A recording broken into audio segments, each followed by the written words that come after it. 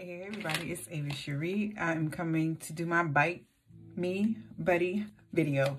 I just want to remind you guys how important it is to make sure you have some type of filing system when you change out of your aligners weekly. Reason being is because um, I, as you guys know, I just got my new set of aligners for the second second half of my treatment, right?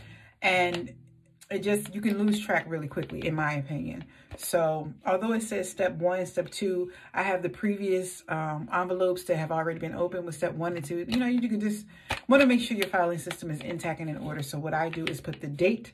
I just rubbed it off on my finger, but I put the date that I'm starting so I can kind of keep track that way. Basically, we're going into week two of my second leg of Byte aligner at night treatment. So let's open this sucker up so I can get on the get on. My first week of my adjusted aligners that they just sent me has been really, really um, good. Uh, like just like I said last week, but I'm not gonna hold you. Those things hurt. Um, they're very. It seems like more orthodontically um, structured to really make a significant and drastic change in my the appearance of my teeth. So my choice and my um, to do is to make sure I monitor it closely week to week because when I put these suckers on, the new ones, like from last week for the first time, it's hard getting them off in the morning. So for instance, if you're having those problems coming in and out of your um, aligners as you get further into your treatment, you find out that, remember I used to say it's clutch, it's tight. Um, if that compression is a little too tight, this is my own personal thing that I've done. I think of things out the box. I think really quickly and really creatively uh, on the fly because I'm just used to doing that, right? And what I did when I could not get the freaking aligner off my teeth, first of all, I was starting to panic because I felt like I was going to pull my teeth out. Um, it just felt loose. You know, I needed, I had a root canal and I didn't get the crown. I'm waiting to get the crown put on after my aligner process is over. So I'll be feeling like my teeth may be too weak. And I'm talking about, I had to, this is the first time in 17 weeks that I ever had to pull out that little red device that's in our aligner um, case. I used that sucker this whole week of these new aligners, okay? The whole week. Because the bottom ones never came out, just like how I used to pop them in and out. Nah, they weren't moving anywhere. The top was the same. Um, however, I was able to get those out with my hand more so than I was never able to get the lower aligners out. So little side nugget, little jewel is I would put warm water in my mouth and swish it around while the aligners were in to let that compression and that air like kind of release to get the tension off of it. For some reason, I thought it would kind of release, you know, like soothing that warm water, get under there and just gives a little breath of air and then I could just pop them off. And it started to help me. And that's what I did for seven days straight. I'm praying and hoping that these suckers right here won't make me have to go through that process because it was really unnerving. It's kind of like, is this supposed to be on this hard? Is it supposed to be this hard to get off? Is it supposed supposed to be that tight?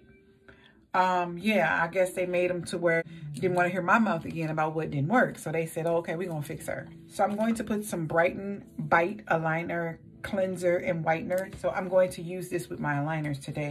I noticed in one of my videos um, on my other playlist, my Food for Your Soul vlogs, I was talking about something very deep and I noticed that my teeth look much straighter. And I say that because it almost looks like I have my teeth fixed. Like, no offense, Byte, if y'all here listening. But no, I'm saying like fixed, like shaved, like veneers, like they looked like they were going straight across when I was talking. My mouth was moving. And you know, when you have problems with your teeth, you tend to go like that. When you smile and laugh, you try to cover up the problem areas. It's by nature. Your face is so used to doing like this. Yeah, what you mean? What you call? Girl, yeah. But now I was talking and it looked just like straight across. So what I'm saying inevitably is my Bucky Beavers are going back. They're pushing back. So yeah, I noticed that on my video. You could tell I had some mouth work done, and that's what I want you to be able to tell, is that my mouth is improving, baby. All right? My investment is working. It's paying off. And my daggone bite break then um dried out, child, because I didn't talk too much. Hold on. Know, I do not play with the break.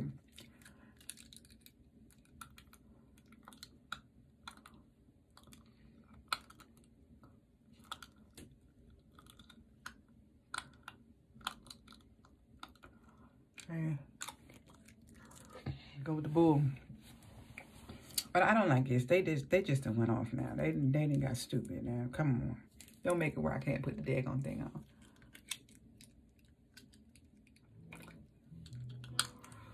You know how people, when they go to make a correction, people in general, the race, the human race, mankind, when they go to make a correction, because they like overwhelmed or they being too extra or doing too much, when they go to make a correction because you pulled them up on something or they realize that it didn't go as planned, they overdo it. They do too much, right?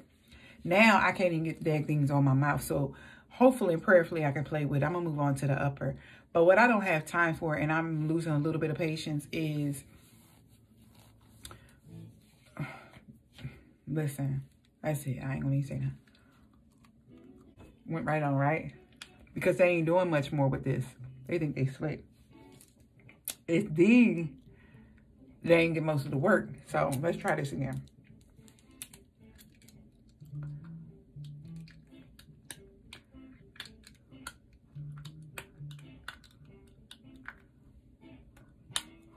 What I'm not doing is putting all this pressure on my little T.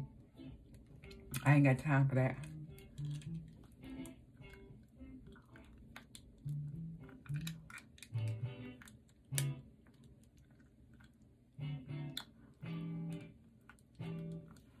Uh, you see how hard that is to get off?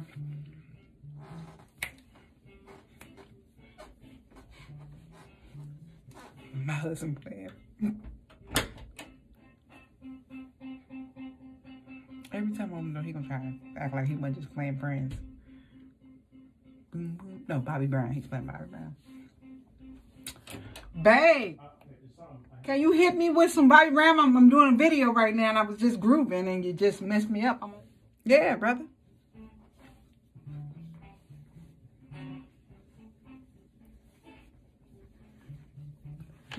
Brother, can you turn it up?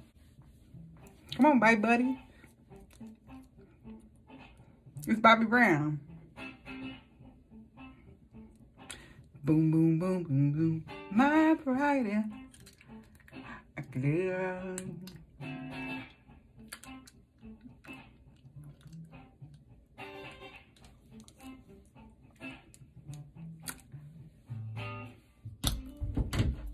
can't get it in, y'all.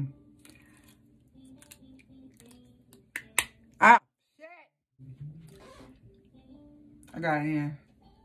Sorry, I didn't mean to cuss. It hurt.